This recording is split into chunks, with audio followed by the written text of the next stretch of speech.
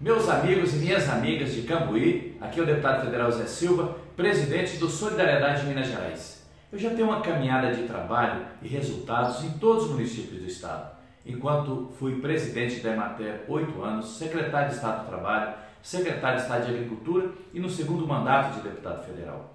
Agora eu quero colocar toda essa minha trajetória a serviço da nossa Cambuí e preciso do seu apoio e o seu voto, elegendo para prefeito Tales e vice o Rafael da Central com o número 77. De Brasília, eu estarei garantindo a chegada das políticas públicas fundamentais para garantir uma transformação da nossa Cambuí, que é uma cidade importante no nosso sul de Minas. Então, no dia 2 de outubro, eu peço o seu voto, Thales e Rafael da Central, com o número 77. Voto 77, voto solidariedade, grande abraço e vamos juntos.